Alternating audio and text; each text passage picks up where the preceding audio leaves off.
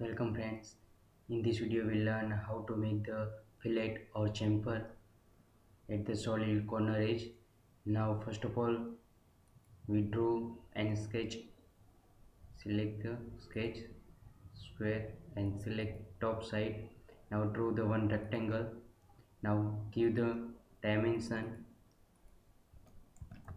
500 and this one is also 500 now control I. Now select this closed area and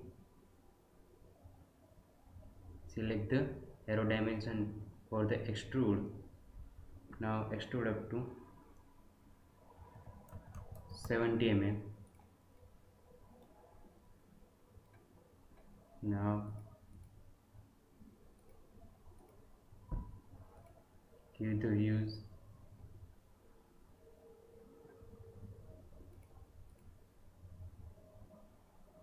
Select here body. Select this body.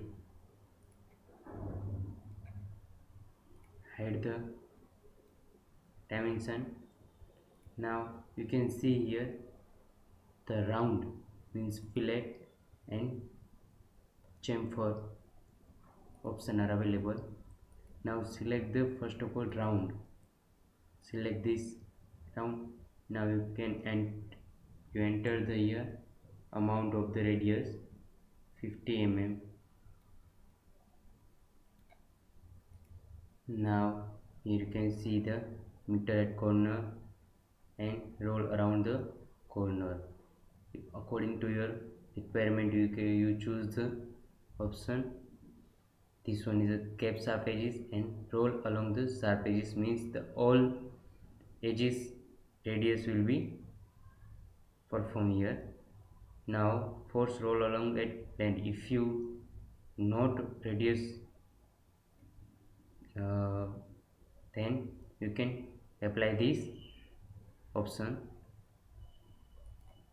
Select ok now this one is a tangent continuous and curvature continuous this one is a for a single this one is for edge or corner this this one all the for chain this one for face all face edges this one is a loop all curvatures loops all fillet and all round.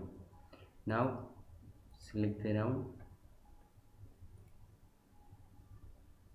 select this one roll around can see choose the option and this corner radius. Now this one is also corner and this one is end of fillet. The uh, radius will be generated. Now this one also same as